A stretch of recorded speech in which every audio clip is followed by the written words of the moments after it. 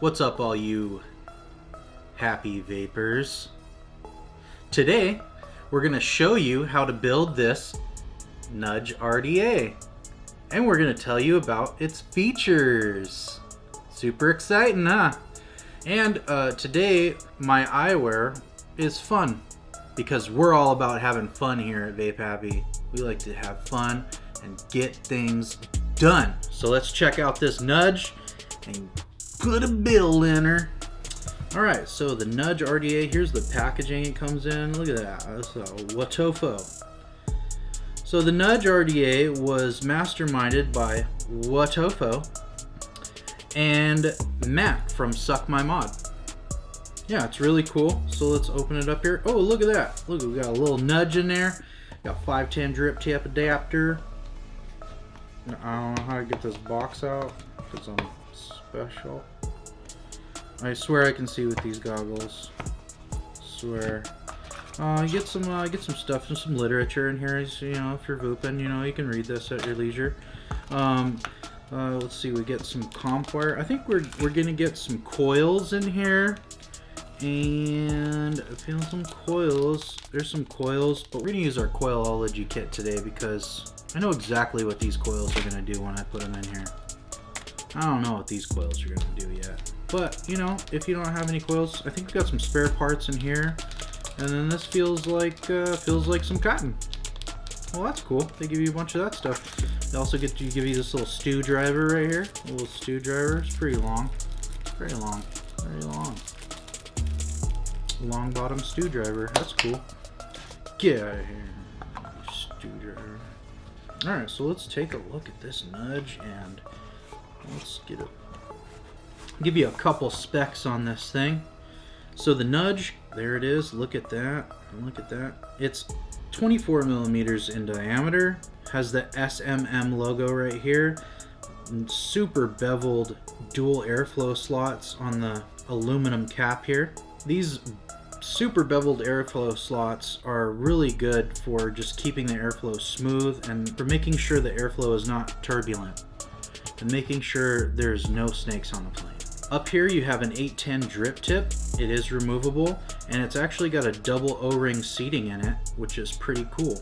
And it's also got this little, little, it's like a, like a little seat for the 810 drip tip to sit into. It's pretty cool. I don't know. I don't know why it's cool, but it's cool. I don't know. Can I control the pitch of my voice. I don't know.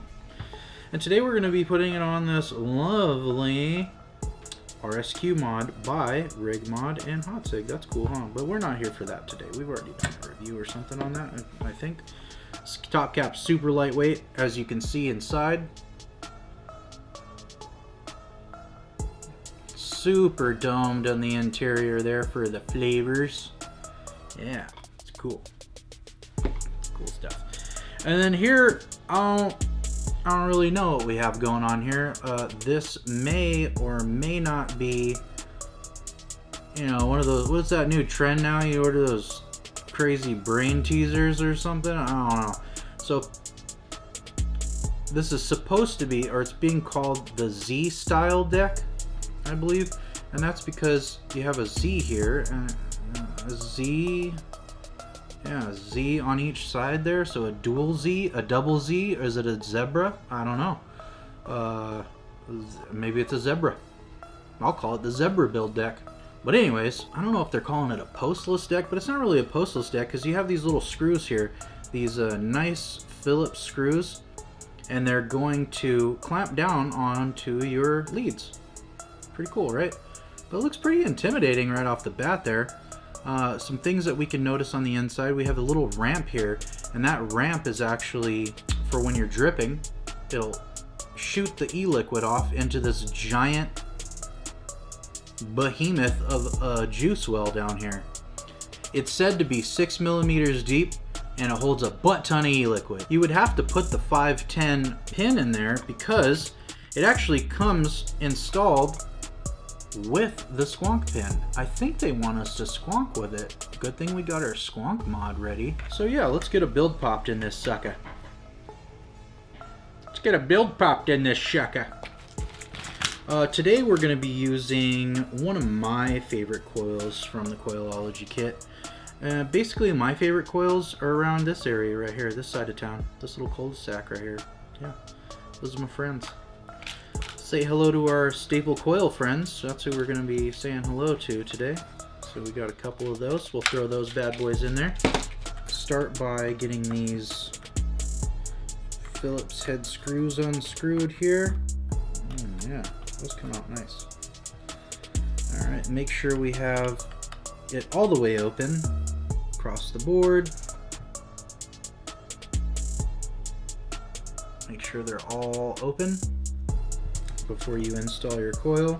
And go ahead and put that on there. And I think what is meant to happen here is this. So we're to pull this lead over here.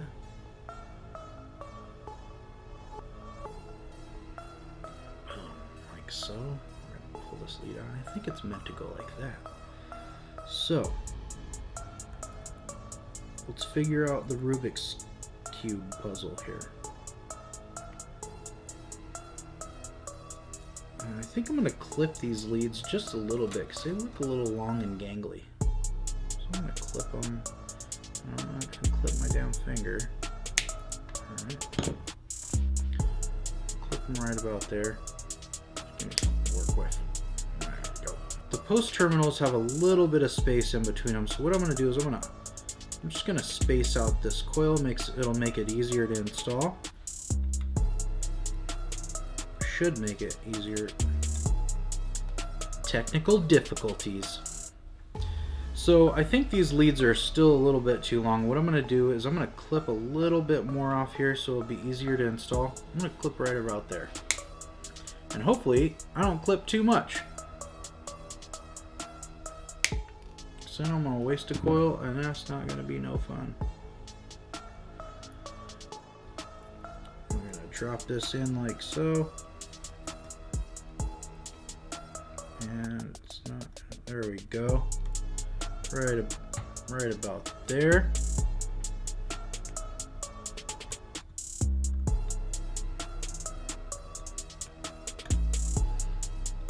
Now I'll screw those down.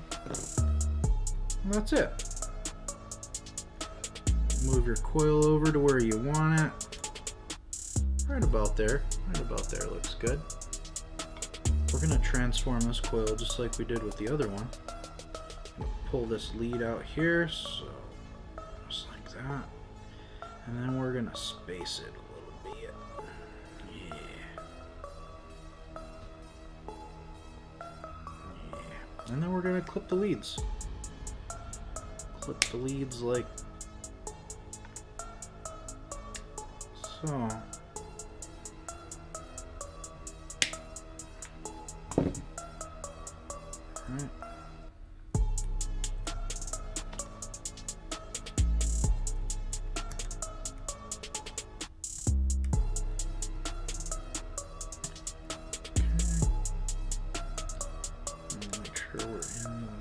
There. It's cool. Looking good. Looking good. Alright, we're gonna screw this. We're gonna screw this screw in there. Give it a good screw in. Make sure coil is in the right place there.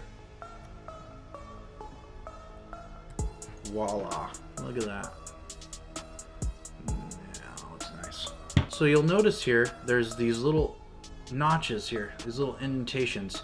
And that's to make sure you can clip your leads off and you can put your top cap down on it without getting a short.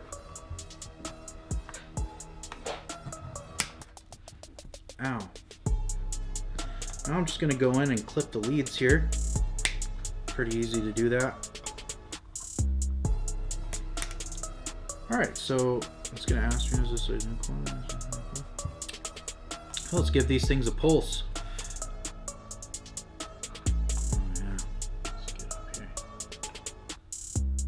Oh, Look at that. Look at that. Woo, woo live action. Coil fire. Yeah, that's nice. Yeah. I'm gonna give these things a nice little little scrunch here. Give them a little scrunch. Prettiest build I ever did, but whatever. It's gonna work. It's gonna work. Yeah, there we go. Our build's coming out to 0.14. That's what it's reading on this RSQ. And that's really nice. So the, the cool thing about this nudge is when you look at the airflow, see where the airflow slots are coming in and meeting the coils right there? Like underneath them. So it's almost like you're getting a bottom airflow experience without the leaking. I think that's pretty cool. We're gonna see if it actually translates to legit flavor in just a little bit. Next up, I'm gonna need some cotton, so I'm gonna reach into my handy dandy coilology kit once again. And I'm gonna get me this little cotton pad here, and I'm gonna cut me some cotton. Cut a nice, I like cutting thick pieces when I cut these cotton sheets. Yeah, that way you can mess with them a little bit. Make sure you get them in there nice and snug. And I always like to rip off this outer layer here. I feel like it, uh, feel like it wicks a little bit better without this this thick, outer shell. All right, so we're we got one sheet there, and we're gonna pull the pull the face off of this sucker right here too. Yeah, pull the face off of this sucker, like Face Off with John Travolta and Nick Cage. John Travolta and Nick. That was a great movie, by the way. But anyways, so we'll just thread the loop here and pull this right through there. I like my wicks to be nice and snug in there. Snug as a bug. So give a little twist there, make sure it gets through. Boom. That side's almost done. Get this side started here.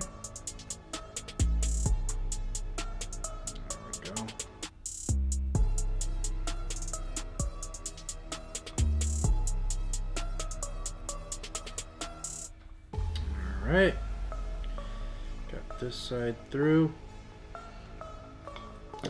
Now we need to figure out how deep. And this juice well's pretty deep, so I'm just gonna go ahead and guess the cotton length. About right there. There. Alright. Let's tuck this cotton in and see how we did. See if that's the a good length or not. These, tuck them in there. Oh yeah, perfect. What do you know? I've only been doing this for like three years or something. So yeah, that looks really nice. So what you want to do is make sure that your cotton is not blocking your airflow. See how that cotton's blocking their airflow? We don't want that. We want to make sure all the airflow gets to our coils. So I'm just gonna go in here with the tweezers. Yes, this is a different pair of tweezers because I didn't find another one. Oh, whatever. So there we go. Make sure we're nice and clear there. Airflow is clear. And now we're gonna show you how this thing squonks. Yeah, yeah, yeah, yeah. Oh, it's really cool. I almost forgot to mention, you're gonna see it here in a second. This Nudge RDA has a dedicated squonk channel, and what it does is it shoots the liquid out to either side of the juice well. And that's really cool. We like to see that because that's awesome. And look at that squonk action there. Look at that. Squonking it right up.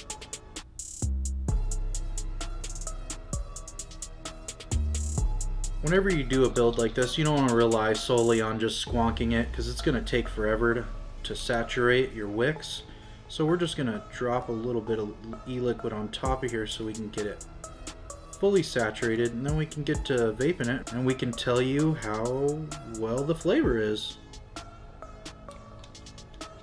Is it tasty? is it not tasty? We're gonna find out.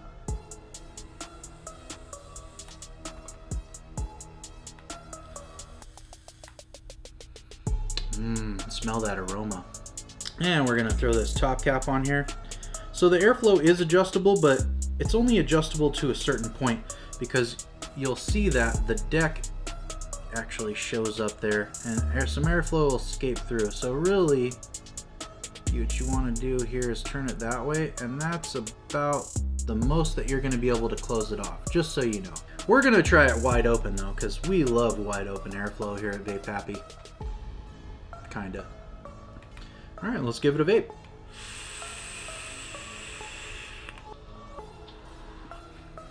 Sixty-five watts, getting those coils nice and heated up.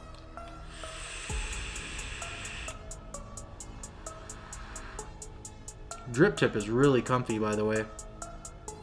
Fun fact, the colored versions of this, the green, the red, and the blue, actually come with resin drip tips that kind of match and give you a little bit of matchy-matchy game with your Nudge RDA.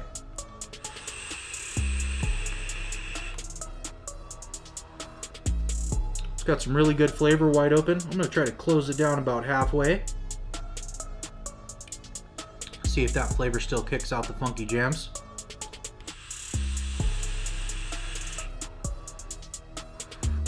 That's really nice. Great flavor. Nice little Squonk RDA here.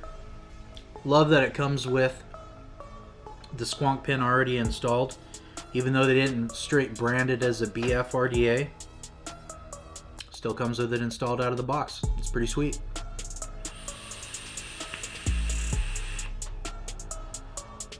Airflow is nice and smooth. The flavor's good. The build, it's pretty easy. Just make sure you clip those leads a little bit beforehand so they're not all doing this and stuff because that makes it really hard to build. But if you if you trim those leads a little bit, you're in the clear. Make sure you got the screws all the way open too because that matters. I'm going to take another vape here real quick.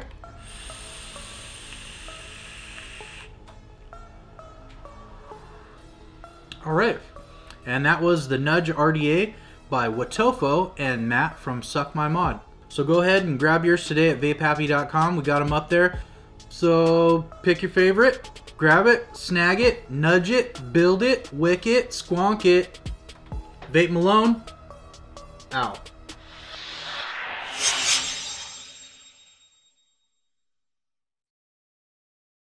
Is anybody gonna take me seriously with these, you know, these Wonka goggles?